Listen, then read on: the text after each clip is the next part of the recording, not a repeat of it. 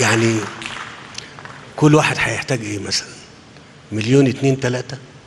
عشان الكلام اللي بتقولوه يطلع ويبقى فعلا مش بس ينجح كفكرة لا ينجح كمشروع ينجح كمشروع.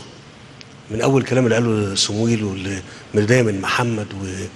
والزملاء اللي اتكلموا كلهم والزميلات طبعا أو بناتي يعني أو كده اللي اتكلموا كلهم لا إحنا جاهزين. وانتوا واقفين كده قدامي هقول مبدئيا كده اهو الأرقام اللي أنتوا بتحلموا لا مش بتحلموا ما تحلموش. هتتوفر لهم مش من جيب الحكومة.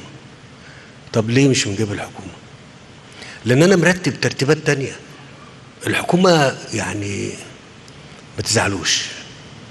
ما تزعلش يا دكتور مصطفى. الدكتور مصطفى والحكومة مطحونة جدا.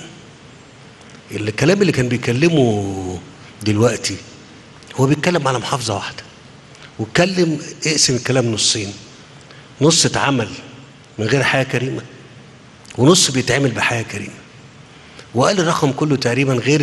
غير الحياة كريمة اللي اتصرف حتى الآن 7 تريليون وأنا بقول لكل المصريين اللي بيسمعوني ولكم اللي موجودين معايا السبعة تريليون ده رقم متواضع جدا قدام الحلم قدام إيه؟ الحلم. أنا جاي بال بالطريق وجاي بالطياره وبشوف ال... ال... الحاجة اللي المباني اللي تحت مني. ده لسه بدري. لسه بدري قوي قوي قوي قوي أنا بتكلم بجد. لسه بدري. وده مش معناه أنا قلت الكلام ده في في الفطار مع في القرية قرية أبو دومه يعني. قلت إيه؟ قالوا إن الصعيد كان مهمش ومتنسي وأنا بقول لكم لأ الصعيد لا كان مهمش ولا متنسي. البلد ما كانتش قادرة بس. وأنا عارف بقول لكم كده ليه؟ عشان إحنا لازم نحترم عقول بعض. ونبقى موضوعيين وصادقين في التقدير والتقييم لواقعنا. ونعرف ليه إحنا واقعنا كده.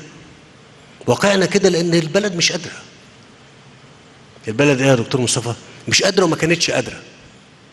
طب اللي بيتعمل ده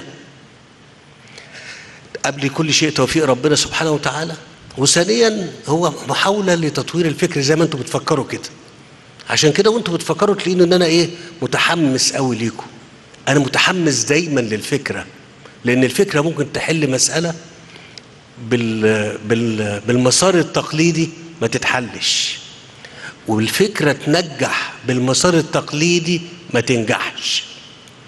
وبالفكرة توفر بالمسار التقليدي ما تمولش.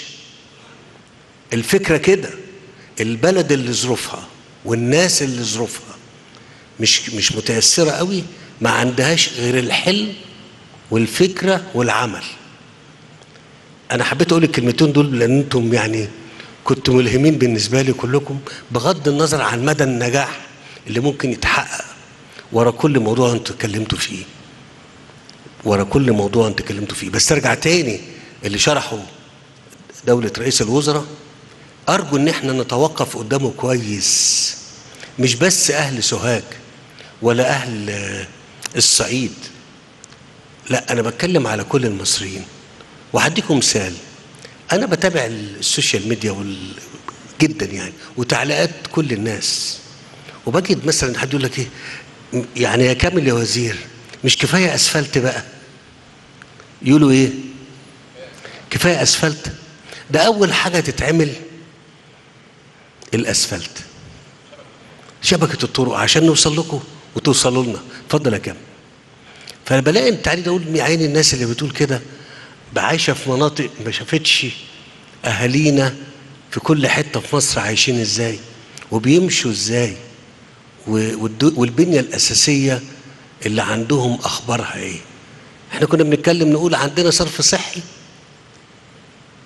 ولكن الصرف الصحي اللي موجود ده آه نسبته قد إيه؟